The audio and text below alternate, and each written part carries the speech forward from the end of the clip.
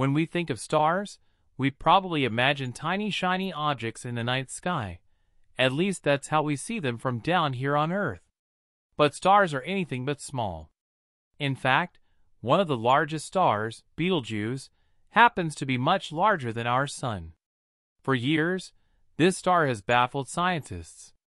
However, recently, something more unsettling has been happening with Betelgeuse, making scientists and other well-informed folks very concerned.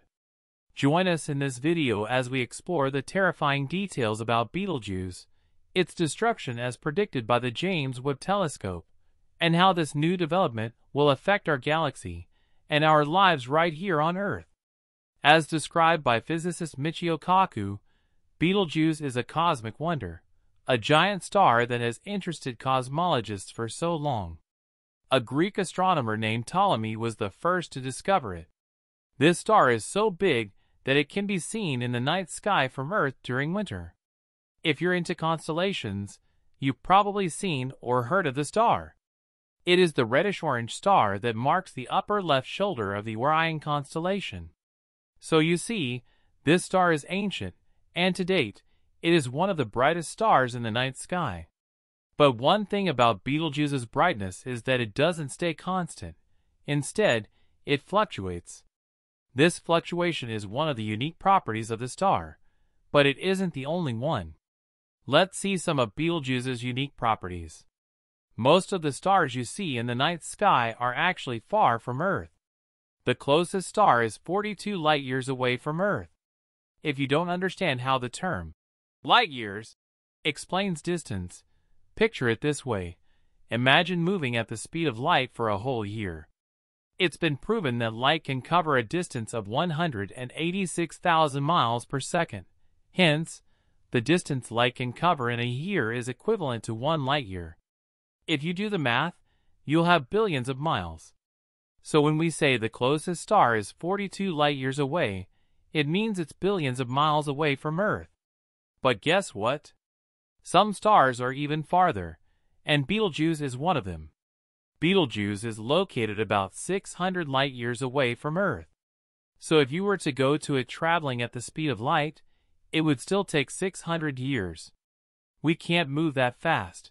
Not even our fastest spacecraft can. But yet, this star can still shine so bright in our sky. If you're wondering how Betelgeuse can be so bright despite the distance, that's because of its other qualities, like size and brightness. Betelgeuse is about 500 times bigger than our Sun. Its radius is believed to be about 1,000 times that of the Sun.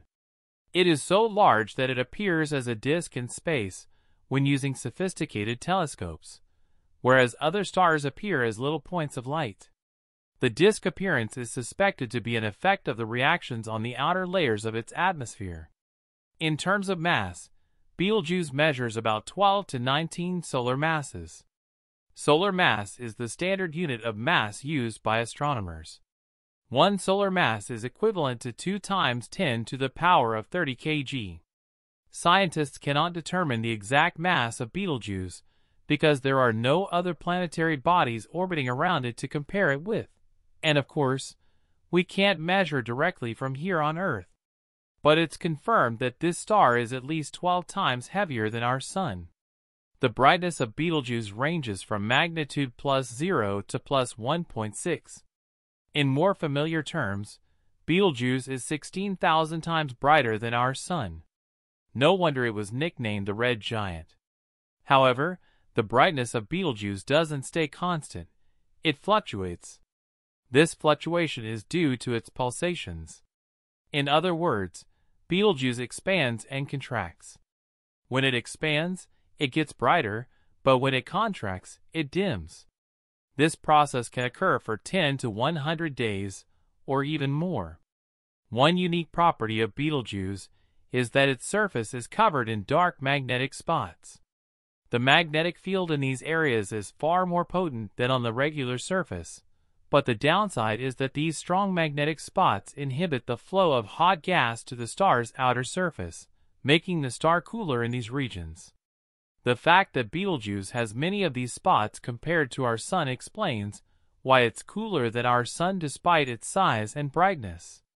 The sun also has its own dark magnetic spots, but the ones on Betelgeuse are much larger and very numerous compared to the ones on our sun.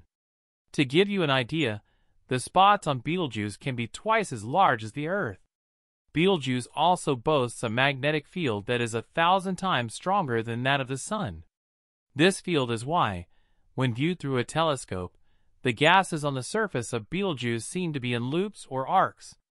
Betelgeuse has a surface temperature of about 3,500 Kelvin. This low temperature contributes to the low energy emitted by this star and its dim red color. Betelgeuse is a red star. However, it wasn't always red. It was yellowish about 2 million years ago, just like our sun. Over the years, the color started changing to orange-red, and then about 2,000 years ago, it slowly started becoming the red star we know today. This fact has made scientists believe that the star is getting old. Betelgeuse emits as much as 7,500 times more energy than the Sun. It might have been a fair rival to Earth's Sun if it weren't so far away and in its prime. The fact that Betelgeuse, which is 600 light-years away, can still be seen and identified with the naked eye at night is quite impressive. Our Sun is only 8.3 light-minutes away from Earth, which is why it is so effective. If Betelgeuse were just slightly closer, we might even be able to see it during the daytime. But if it were to replace the Sun, it would swallow up or displace the Earth and the other four planets close to it due to its massive size. Moreover, even if it could fit, it emits more radiation than our Sun. That alone would make it a bad sun for Earth. So maybe it was never designed to be our Earth's sun, just a distant giant red star that we could admire and study from afar. The red light from Betelgeuse is even more pronounced because of the distance of the star from Earth. One thing about the universe is that it's constantly expanding.